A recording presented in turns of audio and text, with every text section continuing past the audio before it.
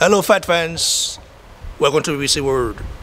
Please, if you're new to the channel, please click that like and subscribe button right now, okay? Don't forget that. So, I just received a message from someone very influential um, that Luis King Kong Ortiz actually wanted a fight, but the big boss, who I don't want to actually mention his name, did not want it. Um, my reaction to this is that Luis Ortiz is his own man. He's like 59 years old now. I know on paper he's way much younger than his real age. We know that on paper it's like 38, 39, something like that. Even 40. Good, no problem. But Luis Ortiz is no longer young. I mean, he's not getting younger. 59, soon to be 60, and given a golden chance to fight Joshua should be a dream to him. But instead, all those guys don't want smoke with the unified heavyweight king of the world, Anthony Joshua. And it's just kind of crazy because I feel pity for, you know, for Joshua. Who will really fighting this now? We all know we've heard names, Michael Hunter, Dees, that, Andy Ruiz Jr. We've heard names, but we don't know who is gonna fight, you know? The win is crazy today. We don't know. So it's just crazy. Like, so this is my opinion. Even if you say he wanted a fight, but him not taking it is a problem because it sends a very bad signal to Luis Ortiz camp.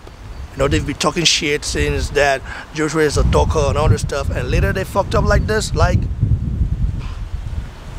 it's just kind of crazy, guys. I don't know what to say. And in my opinion, Lucy, Luis Ortiz knew he was going to get a ass whooping. You know what I mean? He don't want to step in with Nigerian Nightmare. He don't want to step in with uh, Tyson Fury. He don't want to step in with Joshua. I mean, and let me just say the name. Ah, Haymon uh, might be the reason behind this. And this is the reason why boxing politics is bad. Uh, Haymon is a man that I respect. Haven't actually met him yet. But I know people who have and who works with him. And they've told me the guy is a, is a great guy. He does all for his fathers. But when you don't want to give your fathers, you know, or allow your fathers to go fight on other networks, it becomes a problem. It becomes bad for boxing.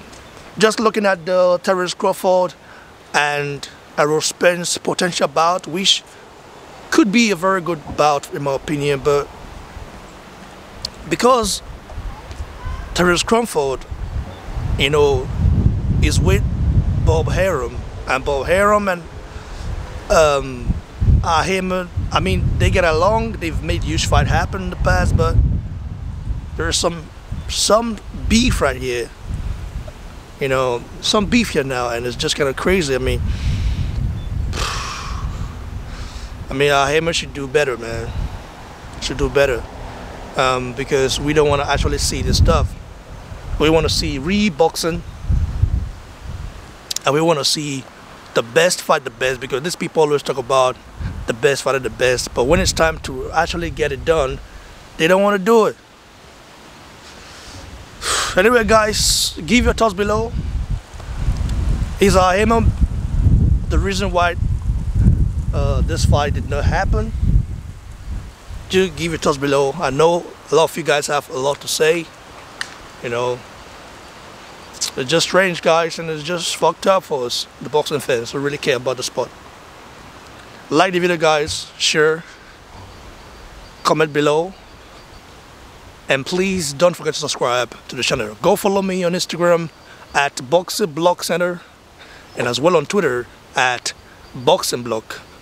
Cheers everyone.